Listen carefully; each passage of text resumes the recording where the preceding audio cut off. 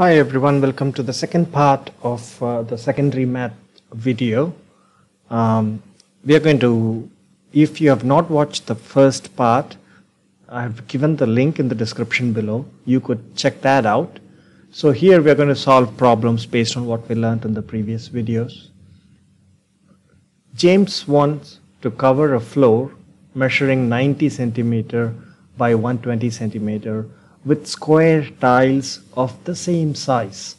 Given that he uses only whole tiles, find the largest possible length of the side of each tile and the number of tiles that are needed to cover the floor. So let's assume that this is the floor area given as 90 centimeter by 120 centimeters so this is 90 centimeter and this is 120 centimeters, assuming. And now what we need to figure out is actually um, here, this 90 centimeters, you see here there is one thing here that says whole tiles. So we cannot use partial tiles, meaning uh, if I have tiles up to here, there I cannot have anything left, any space left here or it cannot overshoot. So, or I have to use whole tiles everywhere.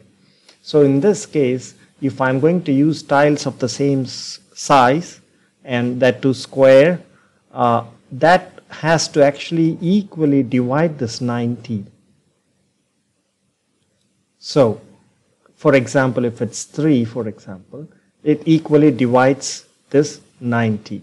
Similarly, on the other side, and it should be able to equally divide here the 90 and also 120 if I arrange the tiles along this end. So now what we need to figure out is as we saw in the last video now we need to find the highest common factor HCF of 90 and 120. So the number that can divide them is 2 2 times 45 gives 90 and 2 times 60 gives 120. Again, we can divide this by 5. So 5 times 9 is 45, 5 times 12 is 60. And again, further this can be divided by 3. 3 times 3 is 9 and 3 times 4 is 12. And we cannot go any further. And as we always know for highest common factor, we only take what is on the vertical uh, side of the um, this whole thing. So 2 times 5 times 3. So that will give the value that can divide both 90 and 120. This is the highest common factor that can divide 90 and 120. That is 5 times 3 is 15, 15 times 2 is 30. So the answer that the largest possible length of the side of each tile is 30 actually. And you know that, see if it is 30, 30 times 3 gives 90. So you will have 3 of them here. And similarly here, 30 times 4 gives 120. So here we have 4 tiles and here we have 3 of those tiles. And each of this is 30 centimeters long. And now going, first question is answered. The largest possible length of the side of each tile is 30 centimeters. And the number of tiles that are needed to cover the floor, that's quite easy because when you see here, you have one, two, three, four in one row. They have three such rows. So 3 times 4, that gives you 12. So that's the answer for B. The answer for A is 30 as we saw. 30 centimeters. I hope this was clear. We'll move on to the next problem. Three bells toll at intervals of 2 minutes, 3 minutes and 4 minutes respectively. If they toll together at 3 pm, at what time will they toll next together again? So you see any time when we see what time they will next happen what time what is the next time that they all come together what is the next time they all happen at the same time or you know the uh, when you arrange books what is the the uh, first time when all the three uh, probably all three stacks are reaching the same uh, height.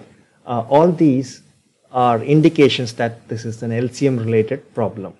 So here, uh, for understanding purposes, we can assume that the three bells are A, B, and C. And we know that A tolls every two minutes, B tolls every three minutes, and C tolls every four minutes. So let's say at 3 o'clock, uh, 3 p.m., all the three bells toll, so ring, right? And A, the bell A will actually ring after two minutes because it's every two minutes it's supposed to uh, ring. So again, after four, and then six, eight, 10, 12, 14, it goes in multiples of two. So these are the times when the bell A rings. And bell B, for example, will actually happen in 3 here, 3 minutes, and then 6 minutes, and so on.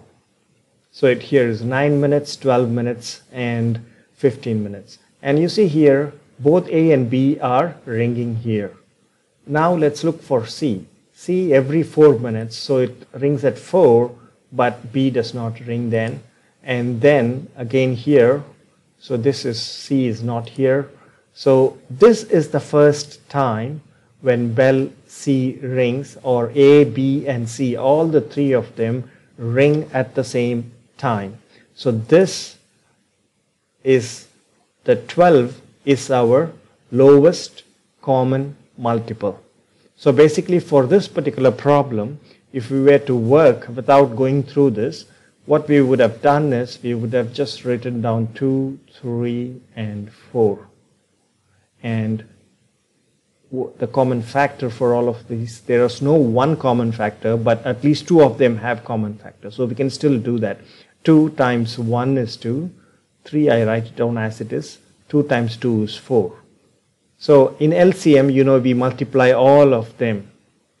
In HCF, we multiply only whatever is the vertical side but LCM is all of them. So 2 times 1 times 3 times 2, that is equal to 12. So that is the LCM that we got here. So at 312, the answer for this question is 312 p.m. So at 312 p.m., all the three bells will toll again together. I hope this was clear. If you have any questions, please drop me in the comment section. I will try to get back to you. Have a great day. Happy learning. Bye.